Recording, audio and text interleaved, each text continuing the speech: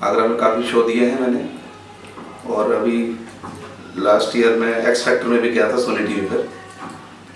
यहाँ पे six round में मैं, मैं वापस आ गया था। काफ़ी अच्छा वहाँ पे रिस्पांस मिला मुझे।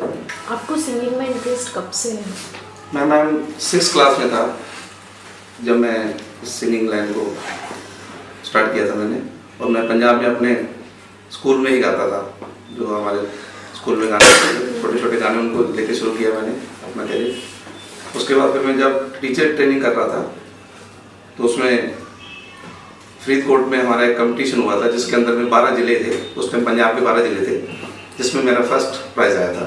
आपके फादर एक्स आर्मी पर्सन है और फैमिली का जो आर्मी मैन का माना जाता है कि फैमिली का माहौल बहुत स्ट्रिक्ट होता है। तो कभी उनकी तरफ़ से ऐसा हुआ कि नहीं आपको नहीं उनको बहुत शौक है। नहीं जाना है? उनको बहुत शौक था कि हमारा बच्चा जो है इस लाइन में है तो मेरे पेरेंट्स ने काफ़ी मेरे को दिया। मेरे फादर ने पूरा सपोर्ट किया। फोक सॉन्ग के लिए आपका क्या है? आप किस तरह लेते हैं फोक सॉन्ग को? फोक सॉन्ग वैसे मैं शुरू में तो क्योंकि गुरदास मान ही सबसे पहले फोक सॉन्ग गाते थे। हम्म। तो मेरे आइडल भी वही है। तो वैसे मैं आप दलेर मेहंदी जी को बहुत लाइक करता हूँ उसने बहुत अच्छे गाने गाए हैं।